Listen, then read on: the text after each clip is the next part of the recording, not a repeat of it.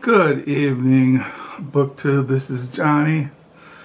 Time to make a video.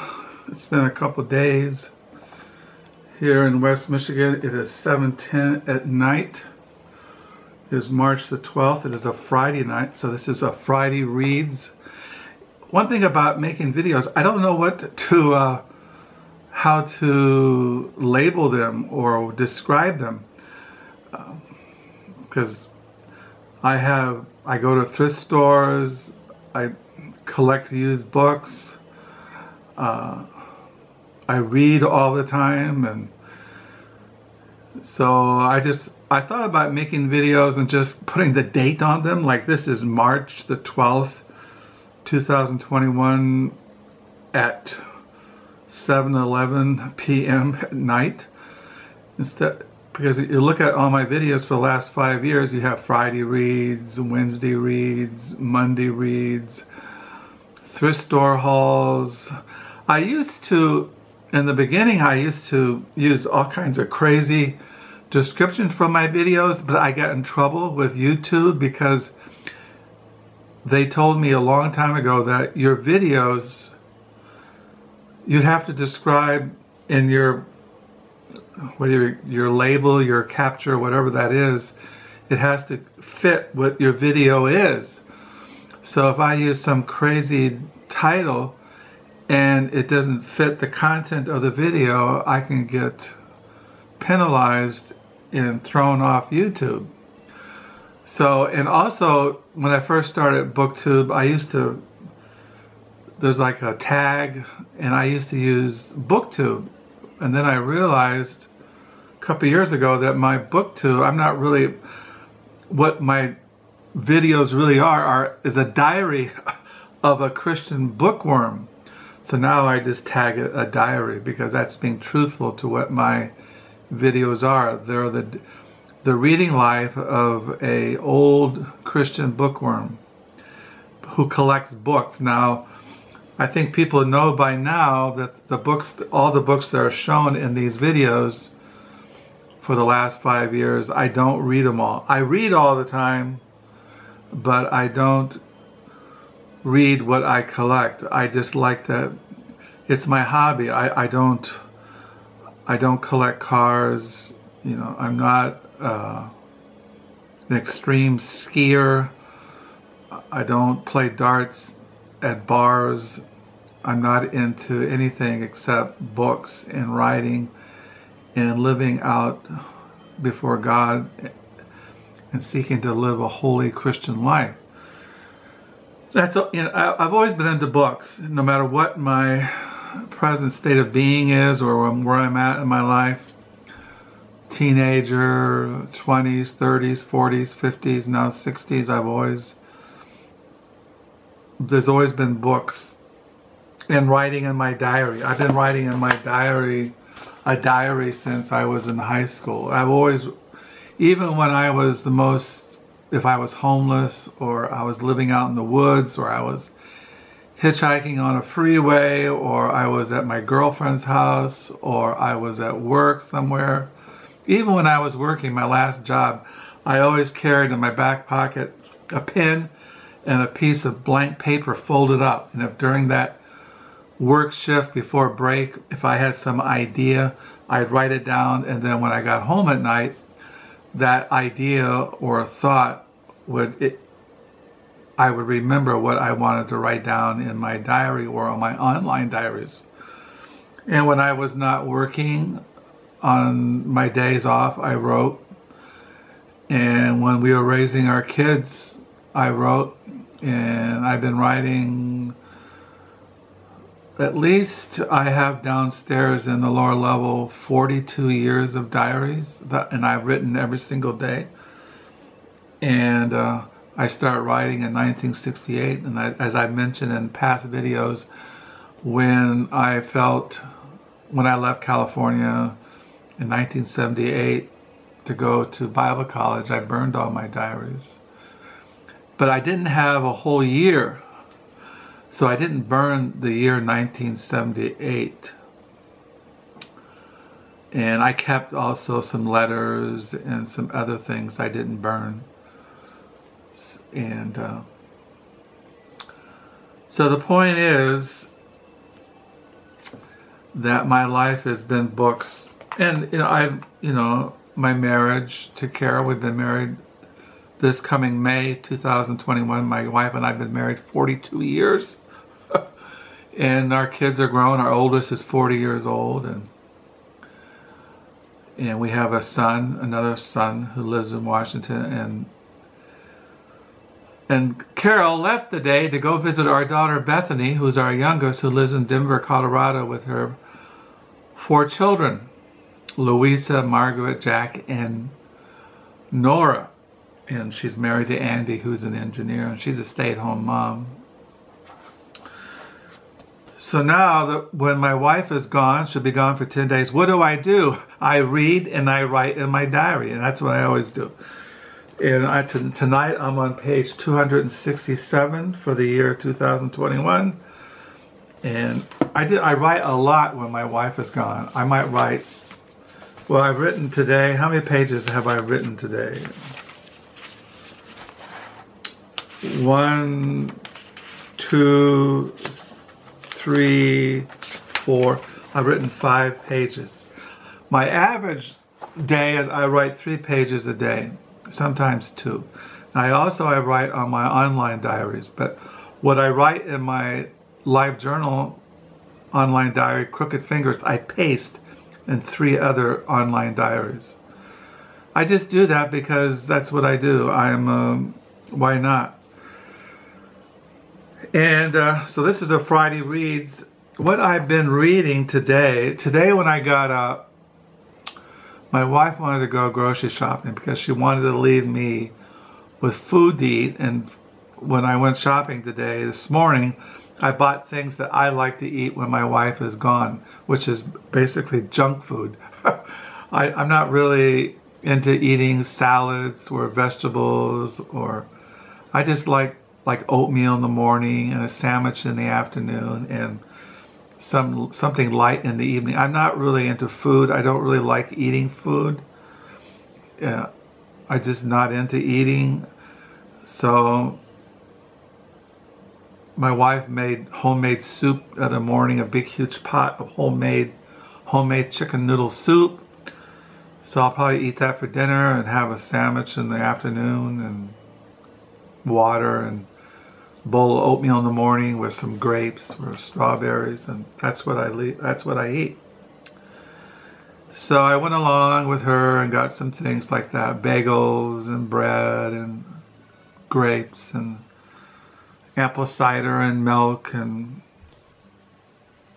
things like that.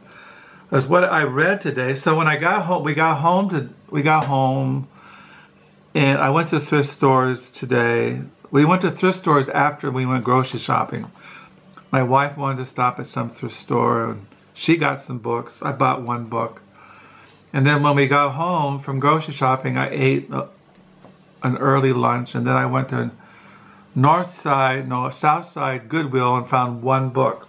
So I do have a small stack of thrift store books that I'll show in a future video. I'm just going to show you what I what I read today. Uh, I read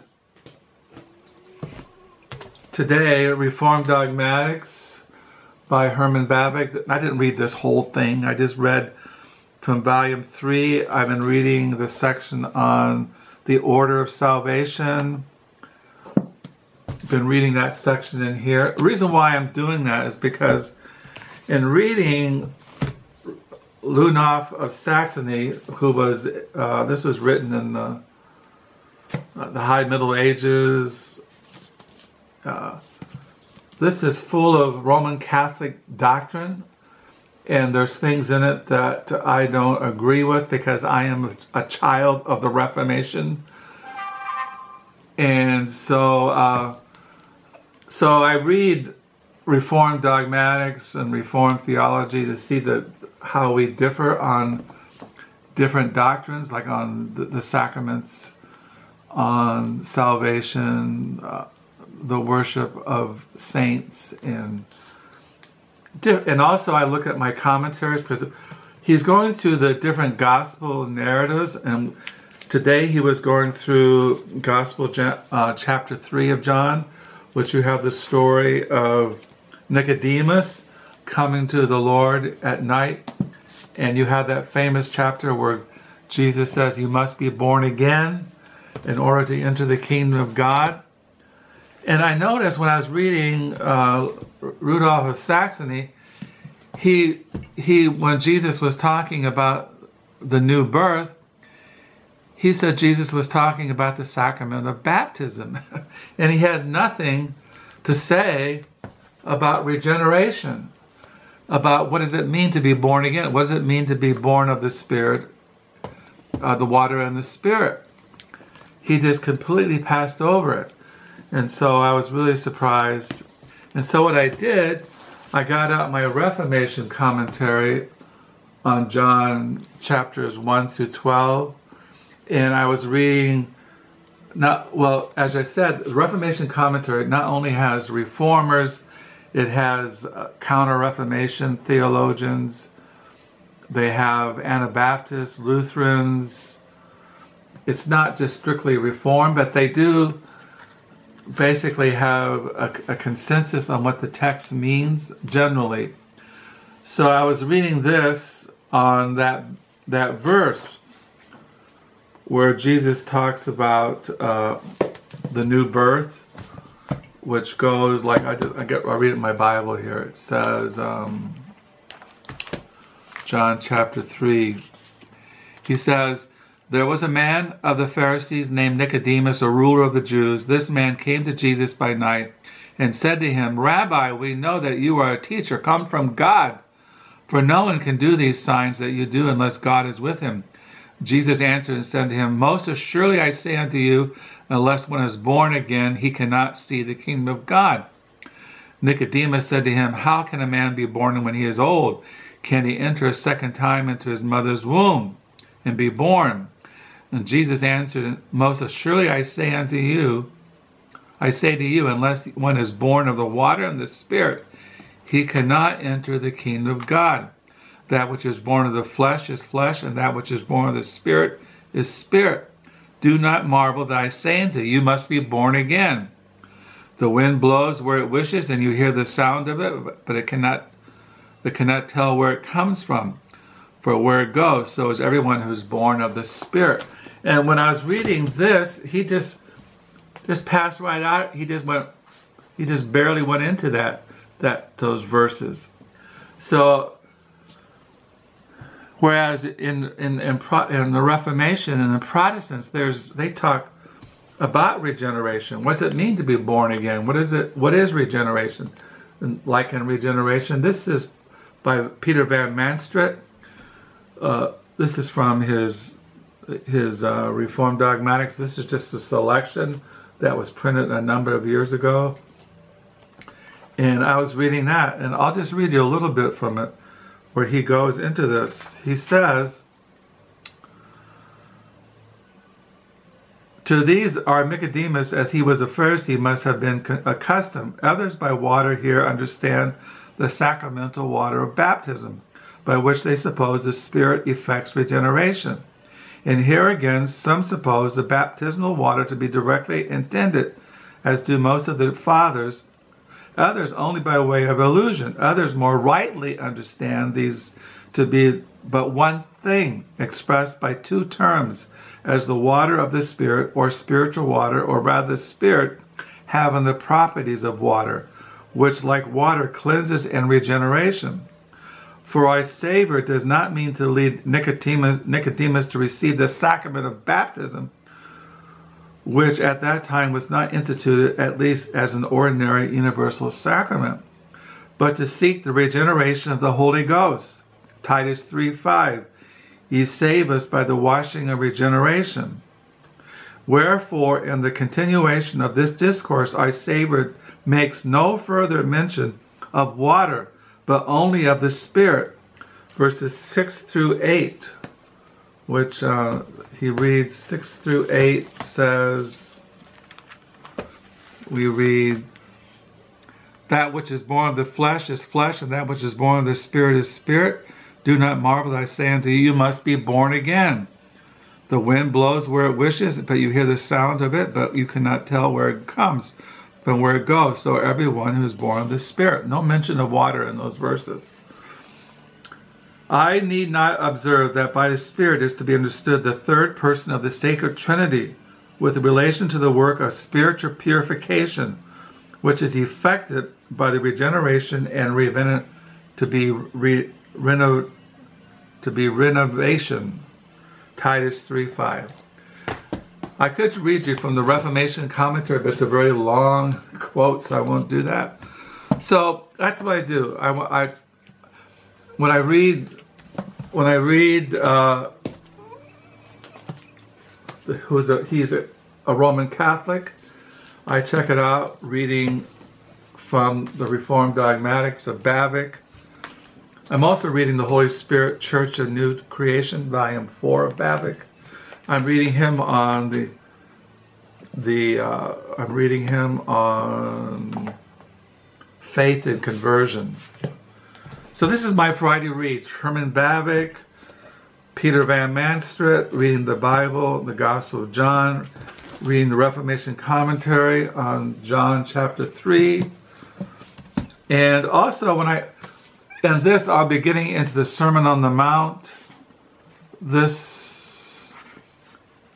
either this weekend or next week, and I plan to read from William Perkins, Volume 1. He's the father of English Puritanism this is, he has his exposition of Christ's Sermon on the Mount in here. So I'll be contrasting these two guys, William Perkins and Ludolph of Saxony, and how they understand the gospel, uh, the Sermon on the Mount that's found in the Gospel of Matthew. And I got other books. I'll look at my more modern commentaries on Matthew. My I have books on the Sermon on the Mount. They're in the Gospel of Matthew and that's what I do. And when I'm not reading these Christian books, I start reading again last night the life, uh, the Henry Thoreau, A Life by Laura Dassow Wallace, and I'm reading uh, Walden again by Henry David Thoreau. I finished reading the novel The Very Long Engagement by Sebastian Scott. This is translated out of French by what's her name, Linda Coverdale.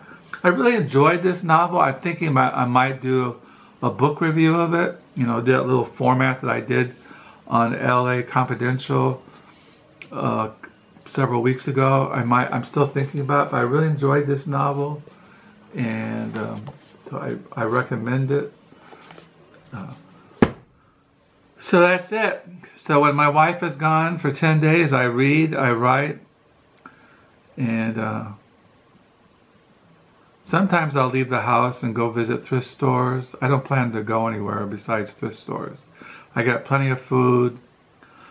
I'll read, I'll listen to me. Yeah, when my wife is gone, I can listen to my my music. I can burn incense. My wife is allergic to incense, so when she's when she's not home, when she's when she's not home, I burn incense. Use it, and so and I can play music anytime, really loud, and that's what I'll do. So I hope you had a good week, that you have a good reading weekend.